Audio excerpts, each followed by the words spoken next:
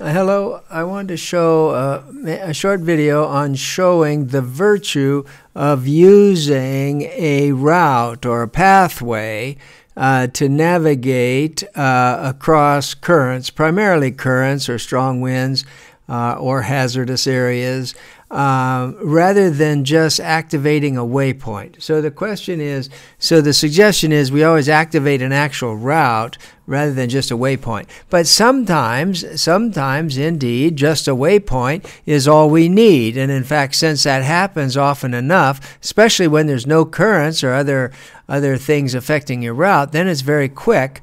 What you could do is if you're here, this is, let's say we're somewhere starting up here in this Keystone Marina, and we want to come across here to Point Hudson Marina, this one in here.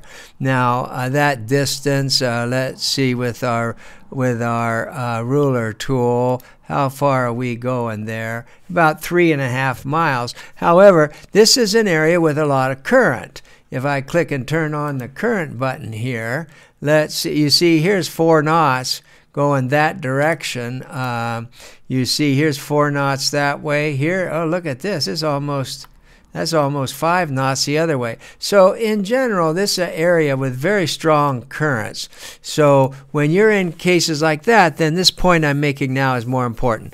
However, so it has on the program, if we haven't, uh, originally we recommended shutting this, this go-to waypoint, shut, shutting it off because we don't use it that much, but there is a button here for that. Or you can just right click and say, uh, go navigate to here, I think there's a button for that.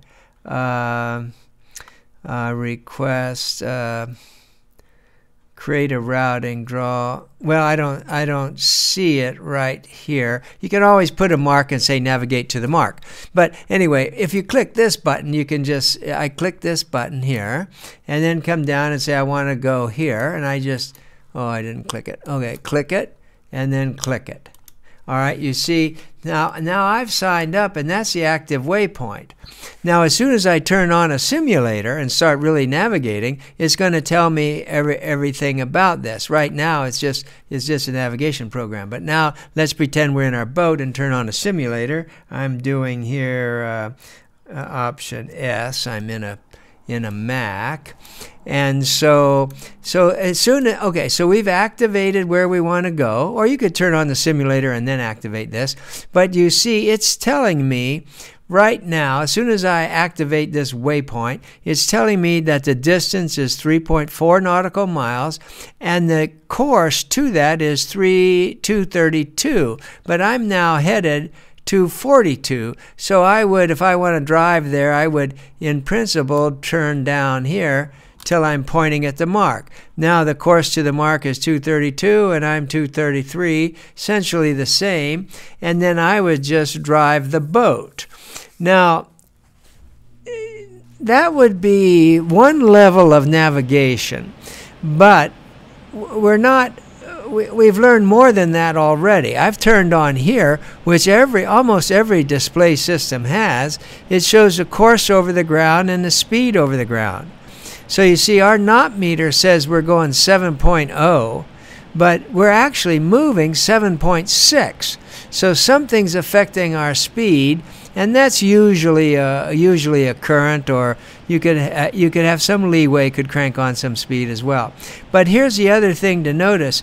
Even though I am steering course through the water 233 I'm actually making good 201 201 so what's happening is I'm slipping you see and you can actually see the track.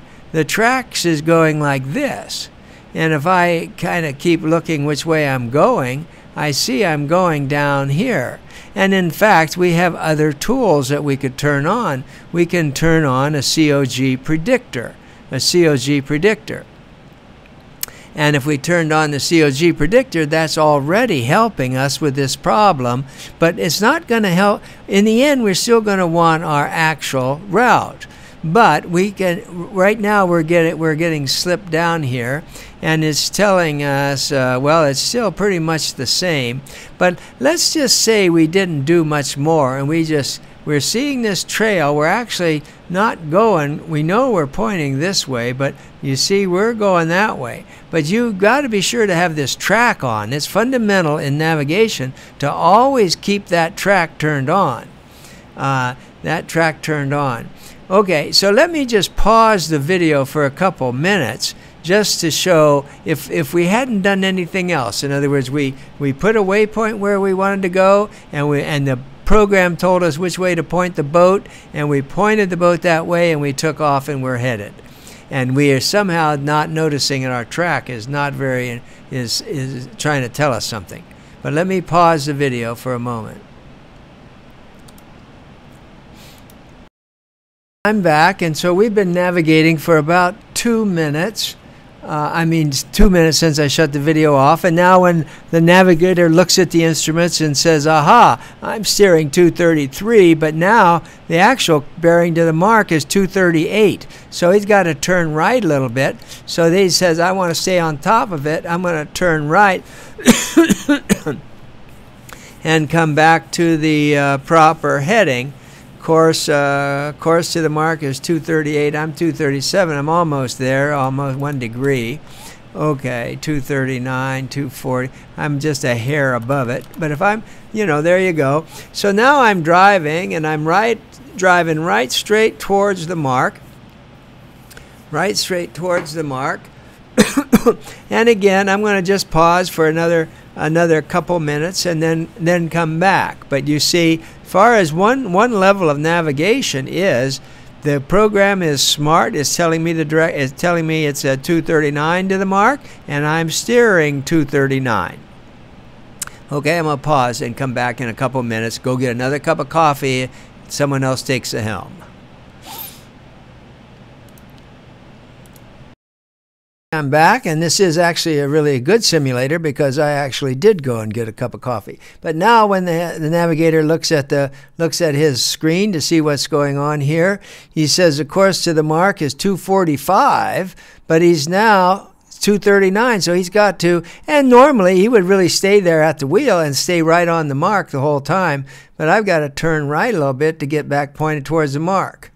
So here, the the point about this is that I want to illustrate is here's somebody, here's somebody driving a boat, driving a boat, and the whole time they found the right direction to go with their with their technology and so forth, and then uh, judiciously stood there at the wheel and kept the boat pointed right in the right direction.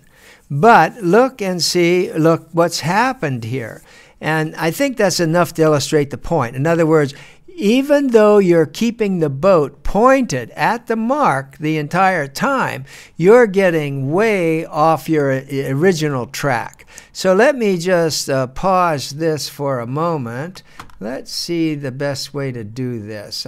I think what I'll do is just stop the boat and drift, although if I'm thinking in terms of real simulation, this is not a good place to stop. These are the traffic lanes. Uh, although we can, you can see clear weather, you see a long ways here, but we're right in the traffic lanes going into. This is the entrance to uh, Puget Sound Admiralty Inlet into Puget Sound. So there's a huge lot of traffic. This is the incoming lanes and the outgoing lanes. All right, so here is this, uh, here's what I want to show. Let me just, let's see, how can I draw a line here? There's different, well, okay, I'll draw a line because let's go back and say how we might want to do this properly. And that we would create a pathway, and I made one here, like, uh, wait a minute, I showed this pathway. Is that going to be right? Okay, yeah. So you see, we were here. And when we started out, we wanted to go this way, right down here, like this, right straight this way. Now, we've actually drifted off course here. Uh, let's see the ruler tool here, some 0.7 miles. So off course. And so that's why it's not, even if you're standing there at the helm and you keep the boat pointed right at the target you've set the whole time, you could drift off course and get into all kinds of trouble. Here now is open water. It's not such a big deal. But there's other places where you could be like, um, you could be in a fog with reduced visibility and you're still you know the direction to the mark and you're pointing the boat right at the mark and so forth but you're drifting Whereas you see, if I'm in the fog, I can keep right. If I do this properly, I can stay bang on this track, right on this track. Whereas this way does not keep you on the track. So let's go back. Let me just uh, let me stop this simulation and then just show quickly how how one would uh, approach this. Command Option S. I stop that. Let me put the boat back uh, somewhere back up here where we start. Oh, now I still have this system here. Uh, let's see, go to mark. Is that where we're navigating to? Yeah. So let me just delete that. Yeah. And just say I've got my boat and I'm sitting up here, something like this, like this here. And now I want to go back. I'm still on the same route. I want to go to a Point Hudson Marina. But in this time, I draw a route, or in this case, a very simple route. It's two points. It's here to here. And that's the route I want to go. Now what I do is I can turn on the simulator uh, let's see, Command S. I'm turn on the simulator. And uh, we always end up headed pointed into the wind. Let's see, is that right? Yeah, see the wind's coming from um, Actually, we're not at the moment. Let's see, the wind's coming in this direction. We're not pointed into the wind, so it's remembered where we are, we, we, that we've changed course. So that's not the case. But let me now turn around here. Uh, we're under power, and well, we're drifting. Oh, we got no. We got the engine on. We've got the engine on, so we're not really sailing. So let me. Oh wait, it's I'm all mixed up. Hang on just a minute. I'm someone's going to take the controls out of my hand here in a minute. Furthermore, look at that. I got in reverse. So I'm going to go up here and go back to our seven knots. That, that's a new function of the simulator so you can practice docking. You can actually go reverse now. All right, so let me turn around now and point roughly Okay, get get around roughly to the right point. Okay, here we go. Now we want to go over here, and so and we're going seven knots. So we, the boat's actually moving seven knots. This is a heading line that shows which way the boat's pointed. And now what I want to do is go here and activate this. Activate the pathway. Now, which line did it go to the right one? No, it's gone back. Since I'm closest to this one, it doesn't know which way I'm going here. So what I have to do is tell it to go, uh, where is the next one? Activate pathway, next point of next point on the route. Okay, so now we're doing the right thing. The distance over there is 309, and the course to steer is 234 and I'm actually steering 252. But now let's, besides this, let's crank on some more tools that we have. We have this reckoning tool. We can just go ahead and see, turn this on and put a projector out here and say, where am I going to be in six minutes? That's a six minutes is a reasonable time. Okay, is that six minutes? Yeah, I think that's six. Okay, so this is, now I got the COG showing where I'm going to be in six minutes. So I'm, I'm not going the right way at all. I can tell that. Here's where the boat's headed. So I've got to turn right, and I see exactly what I need to do there. So I'm just going to turn right, and when I want to turn right is when, uh, okay, just a minute. Okay, so from where we're a little bit off our original track, normally we would encourage when you're in tricky waters, and here's it's a good example. You see, I could stop here and head right back if I go back to the left just a little bit.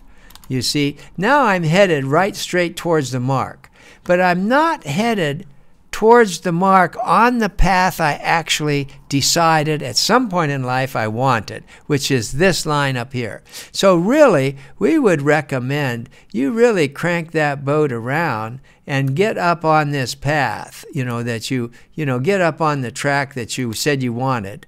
You know, get on that track you know, uh, you don't have to go crazy and go clear right to the right or anything. But the idea would be to stay, the idea of navigation is stay under control that you're, you're the one under control. You don't just follow through with what you happen to have. You have a plan and you want to stay to it.